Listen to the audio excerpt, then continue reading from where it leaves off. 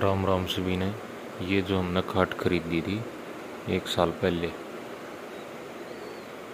बात करें जो है लोहे के पाइप में है, और जो है आज तक भी जो काफ़ी टाइट है।